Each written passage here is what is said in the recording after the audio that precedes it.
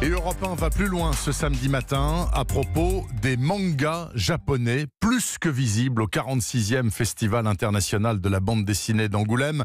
On est en plein dans ce festival. Sur place pour Europe 1, il y a Mathieu Charrier. Mathieu, bonjour. Bonjour Bernard, bonjour à tous. Ce qu'il faut déjà dire, avant toute chose, Mathieu, c'est qu'aujourd'hui, plus d'une bande dessinée sur trois vendue en France est un manga. C'est sidérant. Eh oui, exactement. Et ça booste du coup hein, le niveau global des ventes. Si vous prenez les chiffres sur l'année 2018 fournis par l'Institut GFK, 44 millions de BD ont été vendus. C'est tout simplement le meilleur niveau depuis 15 ans. Mais si vous regardez dans le détail, eh bien les BD franco-belges, comme on dit, Mm. baissent, alors que le manga, lui, fait plus 11%. Vous imaginez, c'est vraiment ce genre qui porte tout le marché. Et pourquoi donc, Mathieu? Qui sont ces lecteurs et ces acheteurs compulsifs de ces dessins venus du Japon? Ben, J'ai envie de vous dire, vous, moi, Bernard, tout le monde finalement, c'est ça la force du manga aujourd'hui. C'est que petit à petit, eh bien, la culture asiatique, elle s'est imposée dans notre pays, notamment à travers, vous savez, les dessins animés qui ont débarqué sur nos écrans dans les années 80, les années 90. Goldorak. Goldorak, bien sûr, Candy, Dragon Ball, Naruto, etc. Alors aujourd'hui, tous ces jeunes biberonnés à la pop culture asiatique, eh bien, ils débarquent dans les maisons d'édition et eux, ils veulent développer ce genre, ils créent des départements manga. Alors ici à Angoulême, et c'est assez symbolique, cette année, ils ont carrément inventé ce qu'ils appellent la Manga City. C'est un immense chapiteau, 2500 mètres carrés, entièrement consacré au manga. Vous imaginez dans le temple de la BD franco-belge, on y mange du sushi, ça ne s'invente pas, c'est vrai en plus, frites. et on fait la queue des heures pour obtenir des dédicaces, notamment de de Tsutomu C'est un auteur de science-fiction. euh, en les lisant, on ne comprend pas tout, mais euh, il joue sur le pouvoir de l'imagination et euh, c'est ce qui fait son intérêt. Moi, je suis née fin 90.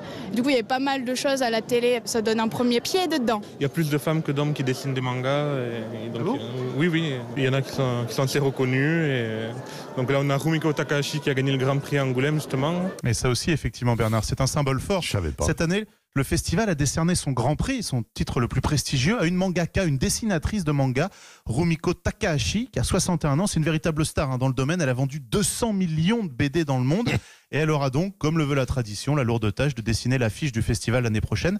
C'est seulement, il faut quand même le dire, la deuxième fois dans l'histoire du festival qu'un mangaka reçoit le grand prix. Bon, mais Mathieu, ce que vous nous dites, c'est que le manga est en passe de remplacer la bonne vieille BD franco-belge, Tintin, Astérix et tous leurs copains. Alors, pas tout à fait non plus, quand même. Quand on regarde dans les 10 meilleures ventes de l'année, 9 sont des franco-belges. La BD qui a le plus marché en même. 2018, ça reste notre bon vieux Lucky Luke. Mm. Mais c'est vrai que le manga inonde le marché. Et il faut préciser, Bernard, que la France est le deuxième pays consommateur de manga au monde, juste après le Japon. Et ça aussi, je ne le savais pas, Mathieu. Alors, euh, est-ce que du coup, les dessinateurs français se mettent au manga? Et oui, de plus en plus. Prenez Bastien Vives, par exemple, un des jeunes auteurs français les plus à la mode, si je puis dire. Eh bien, depuis quelques années, il dessine Last Man. C'est une série très inspirée de l'univers manga. Et puis, figurez-vous que dans ce Manga City à Angoulême, j'ai découvert la première école française de manga. Elle est installée à Toulouse. Elle a été créée il y a trois ans, ce qui veut dire que la première promotion sortira cette année. Et selon sa directrice, Claire Pellier, ils n'auront pas de mal à trouver d'emploi. Chaque année, on accueille entre 70 et 90 stagiaires donc qui viennent passer les stages de sélection pour rentrer. Euh, donc la concurrence est rude à l'entrée et de demande au dehors, oui, puisque maintenant chaque maison d'édition souhaite avoir son département de création originale française. Et il y a effectivement une vraie demande puisqu'il y a de plus en plus de mangas français qui est édité par ces maisons d'édition. Elles cherchent les talents de demain. Et au niveau du profil des étudiants, plus garçons, plus filles euh, Alors on a un très beau 50-50. Voilà, là encore, il y a autant de femmes que d'hommes. Bref, le manga est très bien installé dans notre pays. Les mangas français aussi commencent à s'exporter au Japon. Alors qu'on fête cette année les 30 ans de l'arrivée du tout premier manga papier publié dans une grande maison d'édition française. C'était Akira chez Glénat en 1989. Europe 1 va plus loin ce samedi matin consacré à la folie manga à l'occasion bien sûr du grand festival de la BD à Angoulême. Merci beaucoup Mathieu Charrier.